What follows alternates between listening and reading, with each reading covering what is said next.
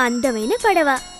ఒక కప్ప ఎలుక కోడిపిల్ల చీమ తుమ్మెద ఈ ఐదుగురు స్నేహితులు కలిసి వెళుతూ ఒక సెలయేరు చేరుకున్నారు.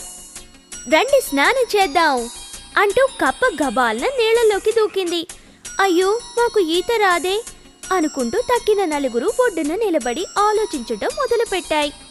ఏదో ఒకటి చేయాలని నిర్ణయించుకున్నాయి. నలుగురు కలిసి చర్చించుకుని చివరికి ఆచరణలోకి దిగాయి. కోడిపిల్ల ఒక ఆకు తీసుకొచ్చింది. ఎలిక ఒక అక్రూట్ చిప్పను తీసుకొచ్చింది. చీమ ఒక పుల్లని తీసుకొచ్చింది. తుమ్మెద పొడుగాటి దారం తీసుకొచ్చింది. నలుగురు కలిసి ఒక పడవని తయారు చేశాయి. దాని ఏట్లోకి తోసి నాలుగు దాని మీద విహారం మొదలెట్టాయి. నేలలో నుంచి ఒడ్డుకి వచ్చిన కప్ప వాళ్ళని చూసి వెక్కిరించాలనుకుంది కానీ అప్పటికే ఆ నలుగురు చాలా దూరం వెళ్ళిపోయారు.